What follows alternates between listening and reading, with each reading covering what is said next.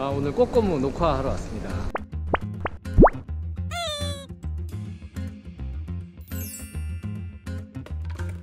아 그렇죠. 오늘 제가 리스너로 리스너로 참여를 하죠. 네, 너무 헐가분해요. 공부도 안 하고 어찌 보면 좀 포지션이 바뀔 수도 있는데 그것들을 이제 시청자분들이 어떻게 봐주실지 네, 그것들 궁금하고.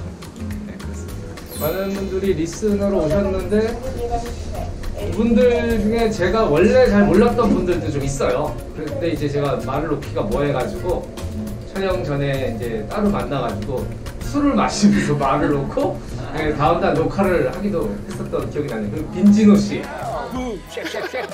그 성경화 씨도 제가 알긴 알았었는데 계속 존대하다가 그날 말 놓고 네, 편하게 녹화를 했죠. 무너뜨리면 여기 두 대 맞는 거예요. 저 반지 끼고 해도 되죠?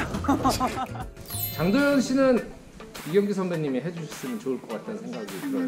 나는 이경규 선배님 반말로 괜찮겠어? 반말로 어. 이분은 윤종신, 네, 윤종신, 윤종신 씨한테 어, 편하게 말 놓으면서 얘기를 해주고 그리고 윤종신 씨가 듣기만 하는 거 한번 보고 싶어요. 굉장히 말이 많은 사람이잖아. 어. 남의 얘기를 듣는 걸 내가 한 번도 못 봤거든.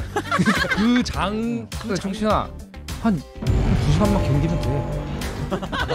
어찌 하다 보니까 뭐 시즌 1, 2에서도 다 장씨들이 하게 됐는데 시즌 3도 이게 시청자분들이 장난치는 거 아니야 했는데 여기 아, 우리 꼬꼬무 입장에서는 너무 감사드리고 갑자기 또 갑에서 을이 된 느낌이야?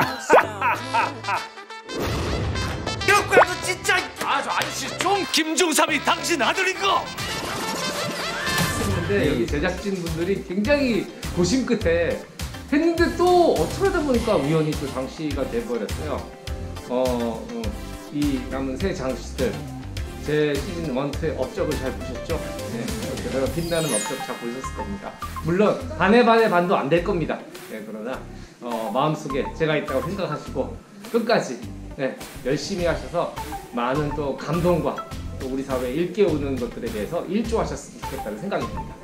아 어느 정도는 예, 기여하지 않았을까? 이제 뭐 작품 준비하는 거 천천히 이제 준비해가지고 네, 끝까지 잘 마무리하는 게 네, 제 목표입니다.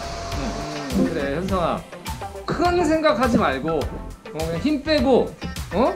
힘 빼고 여기 또 작가분들 훌륭한 분들 많고 PD분들 훌륭한 분들 많으니까 힘 빼고 아주 그냥 돈 번다고 생각해. 돈, 돈, 돈 번다고 생각, 돈 번다고 생각해.